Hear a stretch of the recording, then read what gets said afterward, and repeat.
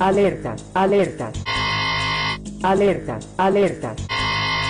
Alerta, alerta. Alerta, alerta.